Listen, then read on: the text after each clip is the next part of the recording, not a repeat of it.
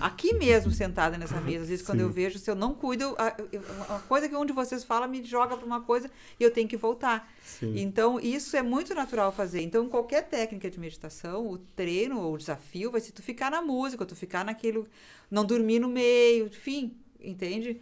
Então, porque tu não, não vai meditar para dormir, tu medita para ir até o fim daquela, daquela, daquela música, daquela orientação, da, daquele tempo que tu dedicou para ficar sentada.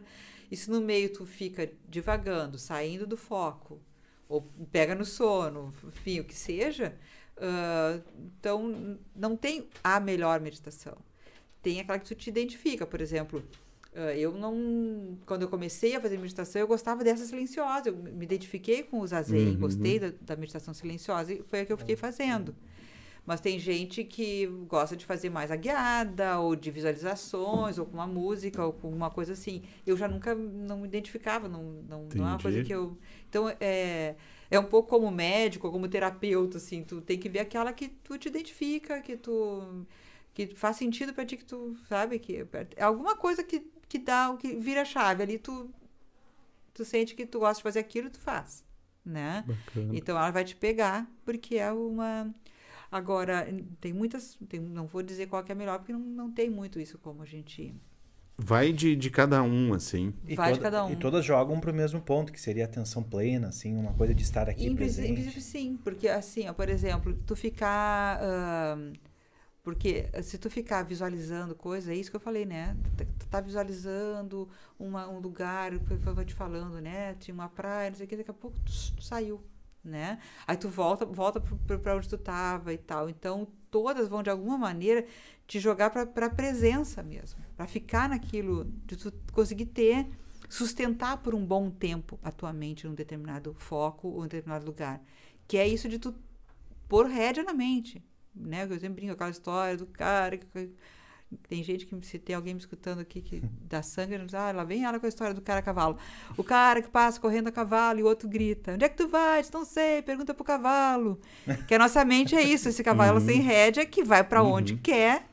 Quando vê perde a rua. Sim. Porque, né? Então assim, como é que tu consegue botar a rédea. E, e, fazer isso também com gentileza. Tu não precisa cabrestear o cavalo, que é uma coisa que a gente está acostumado a pensar.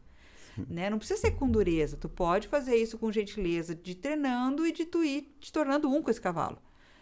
Né? Daqui a pouco, tu e o cavalo não precisa nem rédea. Não era assim que o índio treinando, sim, domava sim. o cavalo? Ele ia, e aí chega uma hora de aproximação, vai criando uma intimidade, quando tu vê, tu consegue estar tá inteiro ali.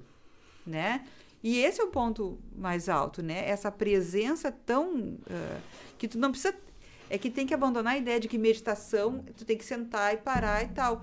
O, o, o, o grande uh, barato da meditação é tu conseguir ter essa atitude para as coisas que tu tá fazendo o tempo inteiro. E ao fazer o tempo inteiro todas as coisas que tu tiver que fazer no teu dia, com presença, com essa atitude meditativa, então, né? Usei no cotidiano, que se fala tanto. Com essa atitude meditativa, com essa presença naquelas, nas coisas que tu vai fazendo, tu ir não só tendo esse foco, mas ir, a, ir desvendando, que, que a gente diz os véus da ilusão, que a gente fala, né? tirando esses véus de uh, ter um olhar mais crítico em relação ao cotidiano. Quer dizer, eu estou brigando por isso, mas será que é isso mesmo? Será que não tem mais alguma coisa atrás disso? Né? Porque a gente às vezes fica essa coisa do foco, do foco, do foco, ele não pode ser bitolado. Porque às vezes também o foco faz isso e quando tu vê, tu tá com viseira quase, com a coisa do foco. Ele tem que ser como tem que abrir como uma grande angular, tem que ter essa e para desenvolver isso é ir te jogando no cotidiano e é começar isso assim de as ações que eu tenho no mundo são realmente coerentes eu tenho coragem de olhar para as minhas incoerências? Eu tenho coragem de olhar para as minhas superficialidades? Eu tenho coragem de ver quantas vezes eu minto por dia? E, eu, e aí a gente mente nas coisas mais banais. Não vou nem falar daquela que a pessoa te dá bom dia e tu diz bom dia quando não está num bom dia. Que também, né?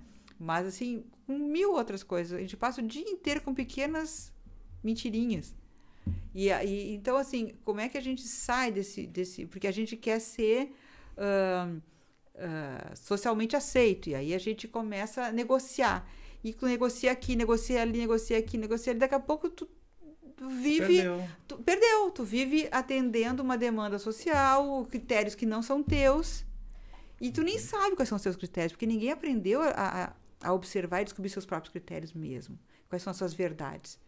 Então, acessar a tua verdade, ahn, acessar o Denkaku fala em verdade, naturalidade e liberdade. O caminho de Buda é o caminho da libertação. Então, acessar a tua verdade, a tua naturalidade, a tua espontaneidade, sem ferir nada nem ninguém. Bom, isso é uma maestria. Então, isso é o zen ou o zazen em ação. É tu ter uma atitude mais, ser mais livre no mundo.